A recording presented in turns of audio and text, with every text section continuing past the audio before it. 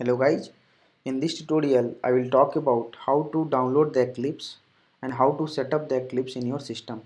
So before that we need to understand why Eclipse is required. Eclipse is required to write a Java code. Eclipse will work as a editor so that will provide you facility where you can write your Java code and also Eclipse has lot of auto completion. So basically it will help you to write your java code in easy way right? And it will act as a editor. For every programming language we need to have the editor. In that editor we can write the corresponding code. So to download the eclipse just we will type let me type eclipse download. Then we'll go to the site eclipse download site and here the latest version what we have is java eclipse oxygen for 64 bits right?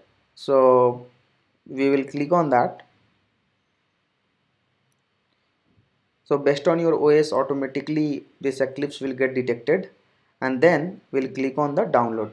So when we click on the download it will take some time to download the exe file. It will take some download. You can see that it's uh, 46 MB file so it will take couple of minutes to download this file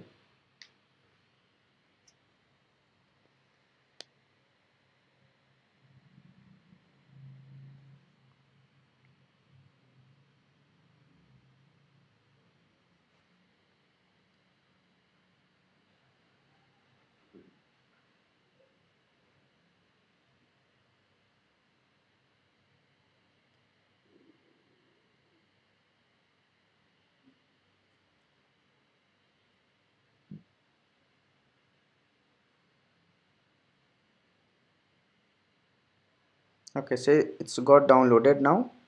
Right click show in folder. Now what we will do is we'll do a double click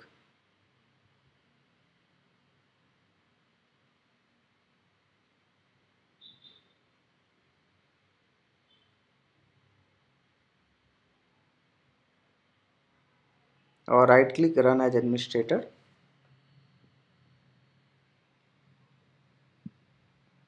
so this Eclipse launcher has come up.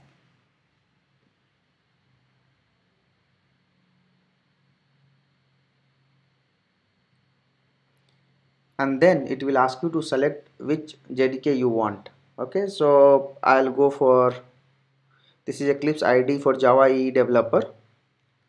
And this is for Java ID for Java developers right? So the essential tool for any Java developer including ID Git client, XML editor, Maven, Gradle integrations and everything we have. Here we have web applications including a Java ID, tool for JE, JPA, Git, other. So we'll go for this Java developer. And you can see that G C drive users folders this will get down installed so I'll click on install I'll click on accept now and this installation will take some time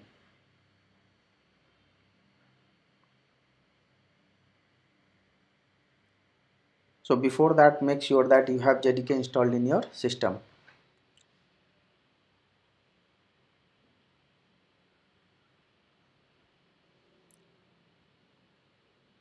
Accept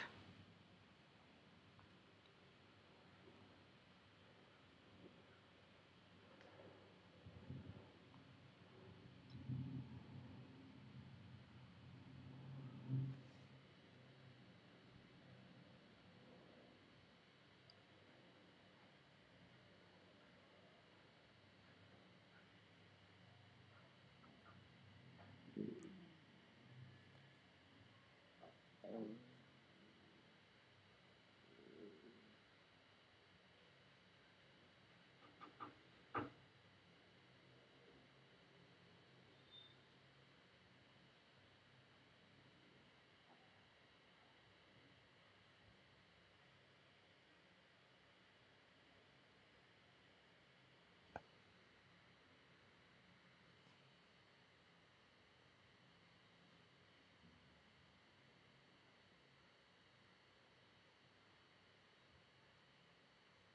this installation it will take some time.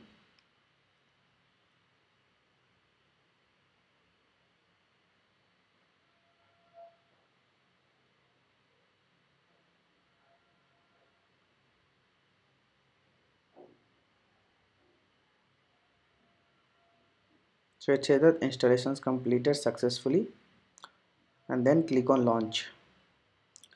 So we can see that Eclipse editor has come up okay. So I'll close this and I will show you from the beginning from where this Eclipse will be installed and all that. So on the UI if you look at on your desktop one icon will get created Eclipse Java Oxygen. So when you double click on this so when we double click this editor will come up and by default it will take work locations in your user folder. Okay here we can either change the workspace or we can select some other folder in your physical systems. Now click on launch. So when we click on launch editor will come up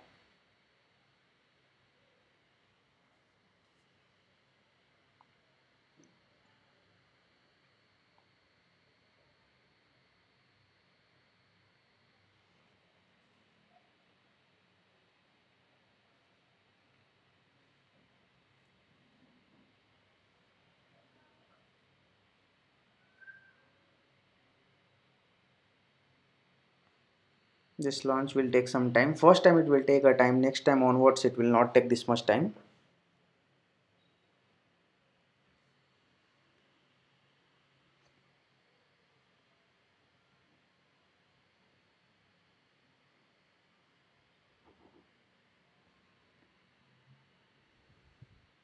It's not wait okay.